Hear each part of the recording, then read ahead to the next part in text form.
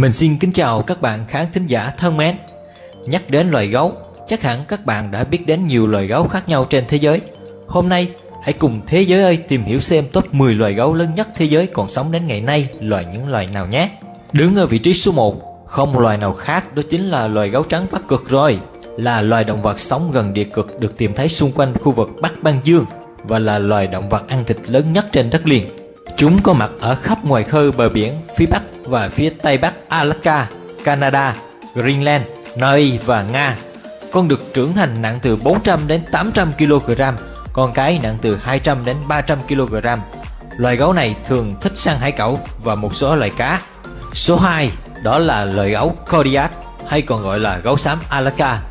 Đây là phân loài gấu nâu lớn nhất, có ngoại hình tương tự như các loài gấu nâu khác với các đặc điểm nổi bật là kích thước vô cùng to lớn. Cá thể lớn nhất bên ngoài tự nhiên từng được ghi nhận nặng gần 800 kg.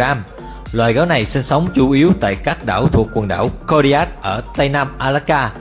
Con được trưởng thành nặng trung bình từ 480 đến 680 kg, còn cái nhỏ hơn khoảng 20%, cân nặng nhẹ khoảng 30% so với con đực. Gấu xám Alaska thường ăn cá hồi, các loại quả mọng. Số 3 đó chính là gấu nâu Kamchatka hay còn gọi là gấu nâu Viễn Đông có nguồn gốc ở một số vùng đất tại Nga như huyện Ananiskay, bán đảo Kamchatka, đảo Karagisky. Gấu được trưởng thành dài từ 2,4 đến 3 mét và nặng khoảng 650 kg. Con cái nhỏ hơn con đực. Chúng thích ăn các động vật có vú, cá, hạt cây, vân vân. Ước tính có khoảng 10.000 đến 15.000 con gấu nâu Kamchatka tồn tại trong tự nhiên. Ở vị trí số 4, đó chính là gấu nâu Australia, còn gọi là gấu xám đen hoặc gấu Ezo. Vẻ ngoài của nó tương tự như gấu nâu Kamchatka, mặc dù nó sở hữu hộp sọ hẹp hơn và trán ngắn hơn, phân bố chủ yếu ở Nga, Trung Quốc và Nhật Bản. Gấu được trưởng thành có cân nặng dao động từ 400 đến 550 kg, con cái thường nhỏ hơn con đực. Gấu nâu Australia thường ăn động vật có vú nhỏ, cá, chim và một số loài côn trùng. Xếp vị trí thứ năm Gấu xám Bắc Mỹ hay còn gọi là gấu xám, gấu đầu bạc. Chúng thường sống ở vùng núi cao ở miền Tây Bắc Mỹ. Gấu xám đực có trọng lượng từ 300 đến 500 kg. Trong khi đó, gấu cái có trọng lượng nhỏ hơn từ 130 đến 400 kg. Khi trưởng thành, gấu có chiều dài từ 1,9 đến 3 mét. Thức ăn của gấu này là khá đa dạng từ cỏ, hoa màu, chồi non, quả mọng cho đến cá hồi, trồn, chim, thỏ rừng, sắp vân vân. Loài này thường săn mồi các động vật lớn bao gồm nai sừng tấm, nai, bò rừng và tuần lộc. Các quần thể tiếp cận với cá hồi và cá vượt có thể phát triển đặc biệt lớn, chẳng hạn như loài gấu xám ở Alaska và British Columbia. Gấu xám được liệt kê là bị đe dọa ở vùng tiếp giáp với Hoa Kỳ và có nguy cơ bị tuyệt chủng ở Canada. Số 6. Gấu nâu Á Âu hay còn gọi là gấu nâu thông thường phân bố khắp châu Á và châu Âu con được phát triển đầy đủ nặng trung bình từ 265 đến 355 kg. Gấu cái có cân nặng trong khoảng giữa 150 đến 250 kg. Ngày nay, phạm vi của chúng chủ yếu giới hạn ở Bắc và Đông Âu, Nga, các quốc gia Baltic và Balkan. Tuy nhiên, các quần thể biệt lập vẫn tồn tại ở Tây Ban Nha, Ý, Pháp, Tây Nam Á, Trung Quốc và Nhật Bản. Chế độ ăn của gấu nâu Á Âu bao gồm rễ cây, quả mọng, quả hạch, côn trùng và cá. Chúng cũng được biết đến là tấn công gia súc và săn các loài động vật có vú lớn và nhỏ. Ở vị trí số 7 đó chính là gấu đen Bắc Mỹ, loài gấu có nguồn gốc ở khu vực Bắc Mỹ. Con được trưởng thành nặng khoảng 57 đến 250 kg, con cái nặng từ 41 đến 170 kg.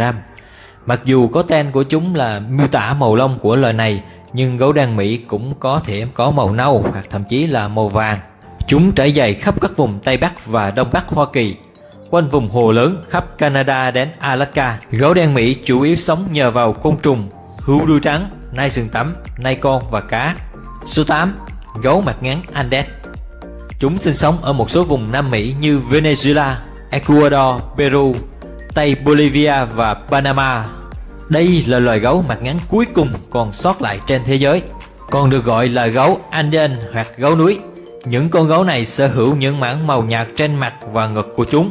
Con đực có thể nặng tới 200 kg và con cái là 82 kg. Cá thể lớn nhất từng được ghi nhận nặng tới 222 kg. Gấu mặt ngắn Andes là loài gấu duy nhất còn tồn tại có nguồn gốc từ Nam Mỹ, giống như gấu đen và gấu chó. Loài gấu này dành phần lớn thời gian ở trên cây.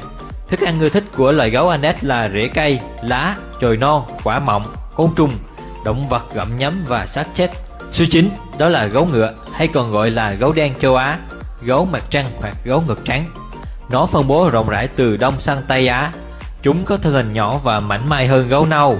Gấu đen châu Á được nặng đến 200 kg, con cái của loài này nặng đến 125 kg. Gấu ngựa là loài ăn tạp, chúng ăn các loại thức ăn như hoa quả, quả mọng, cỏ, hạt, quả hạch, động vật thân mềm, mật ong và thịt cụ thể hơn như là cá, chim, động vật gặm nhấm cũng như các động vật có vú nhỏ hay xác súc vật. Và xếp ở vị trí số 10, gấu lợn hay còn gọi là gấu lười. Loài gấu ăn đêm với lông rậm, sinh sống ở những cánh rừng đất thấp của Ấn Độ, Nepal, Bangladesh và Sri Lanka. Gấu được trưởng thành có chiều dài từ 1,5 đến 1,9 mét, cao khoảng 1,8 mét, nặng từ 80 đến 145 kg. Con cái nặng khoảng từ 55 đến 105 kg, cao khoảng 0,6 đến 0,9 m. Có trường hợp được ghi nhận một con đực nặng tới 192 kg. Chúng chủ yếu ăn kiến và mối. Khi cần thiết, chúng có thể ăn mật ong, hoa quả, ngũ cốc và thịt. Các bạn thấy loài gấu nào thú vị nhất nào? Nếu bạn có ý kiến nào hay về các trận giao đấu giữa các loài gấu và các loài vật khác thì hãy để lại ý kiến ở phần bình luận bên dưới giúp mình nha. Cảm ơn các bạn đã quan tâm theo dõi. Nếu thấy hay, hãy cho mình xin một like và một nút đăng ký kênh nhé. Xin chào và hẹn gặp lại các bạn trong những video tiếp theo.